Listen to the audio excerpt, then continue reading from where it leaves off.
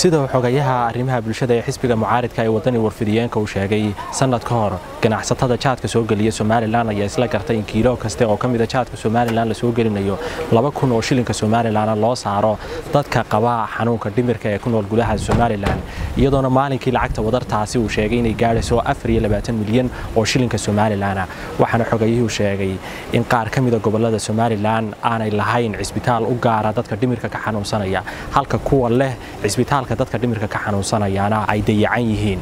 Waxaana uu sheegay inaanay caddayn ilaa iyo hadda halka ay lacagtaasi ku baxdo. Labadii kun iyo labaatankii ganacsatada jaadlayaasha somalilan waxay si iskooda iyagoo isxilqaamaya ay u saareen kiilo kasta oo jaada oo soo mara kastamka kala baydh laba kunoo shilinka somalilanah dadka dhimirka ka xanuunsanaya iyagoo arkay duruufta baahida iyo baylahda weyne ka jirta dadka inaga midka ah waxa weye xanuunka dhimirku hayo. Waxaa soo mara kala baydh maalintii boqol iyo labaatan kun oo kiilo oo jaada qiyaas ahaan waxaa la xereeyaa maalintii lacag gaadha afar iyo labaatan milyan iyadoo muddadaa ay socotay. Hadda gaadhaysa hal milyan oo dollar. Qorshuhuna wuxuu ahaa lacagtaasi inay gasho baahiyaha iyo duruufaha iyo daryeelka dadka dhimirka ka xanuunsanaya cusbitaaladooda. Hadday noqoto dawooyinsiinta dhisidda cusbitaallo cusub iyo in laga xereeyo suuqa dadka dhimirka ka xanuunsanaya maadaama aanay jirin cabacity awood dowladnimo oo wax ka qabata. Somalilan waxaa ku yaalla shan cusbitaal. Berbera boorama burco gabiiley iyo hargeysa.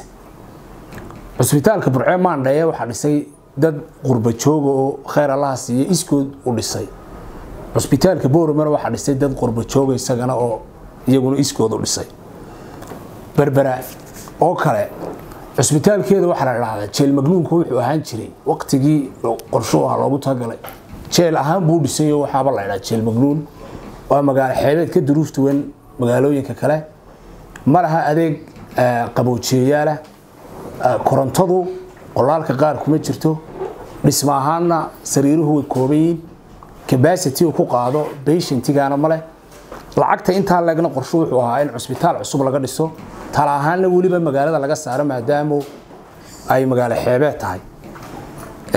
Bukaanada ku xidhan mararka qaar diirkaa ka dhaca berbera maadaama heerkulkeedu uu sareeyo hadda xilligan ku jiroo kalena xagaa daran uu ka dhacayo magaalada burco cusbitaalka maandhaye ku yaalla ma shaqeeyo waqtigii karooni karoonaha la dhigayay shan iyo toban sariirood baa yaal.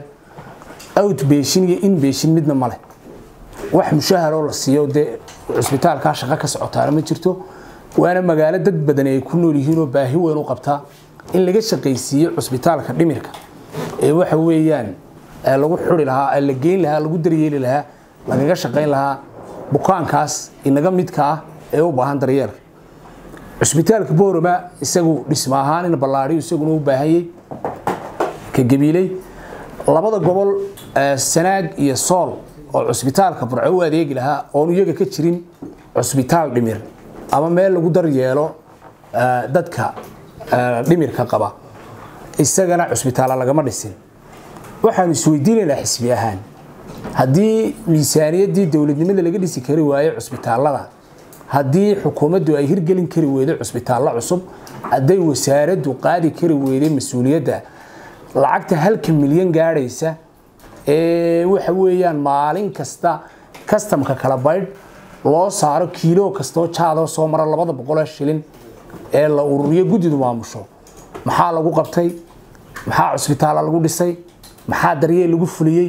Maxay ka bedeshay noloshii iyo waxa weeyaan caafimaadkii bulshada ballaadhan ee inaga midka ah ee dhimirka la ildaran. Guri kasta guryo badan waxaa ku xidhan dad dhimirka la ildaran.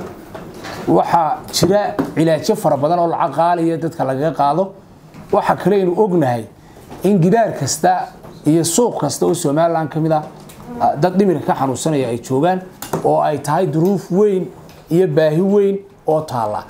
Waxaanu guddida weydiinaynaa lacagtaas sida loo maamulo iyo duruufaha lagaga jawaabo iyo baahayaha ay qabato oo aan muuqan iyadoon cusbitaaladii tayadoodii iyo dhismahoogii iyo dawadoodii iyo iyo waxa weeyaan isbeddel aanay ku samaynin.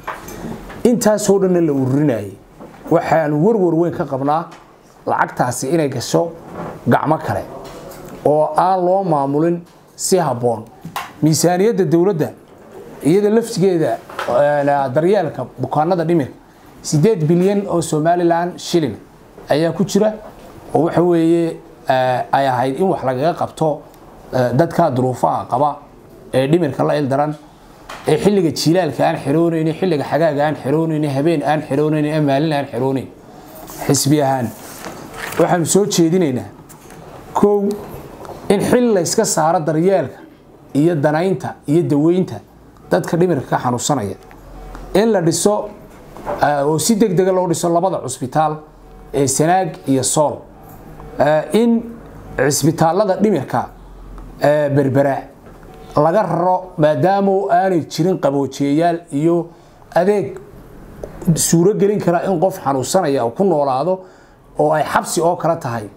In loo bedelo meel cimilo wanaagsan oo aan ahayn magaalo xeebeeda sheekh oo kale iyo deegaanada kale ee degmooyinka la jaarkaa cusbitaalka hargeysa oo kooban maadaamay caasimo tahay in isagana la ballaariyo oo la weyneeyo.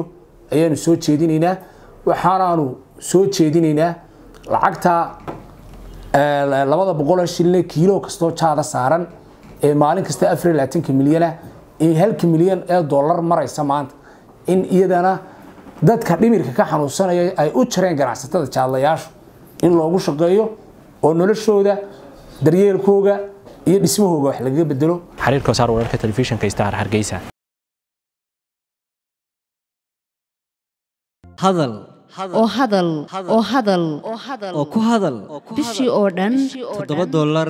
Oo keliya. Ku darso fariin kasta oo aad dirtaana waa kuu bilaash. haddaba si aad ugu shubato adeega kaafiye fadlan garaac xidig siddeed eber siddeed afargees ama xidig laba eber laba afargees isticmaal shabakadda ugu ballaadhan geyga somalilan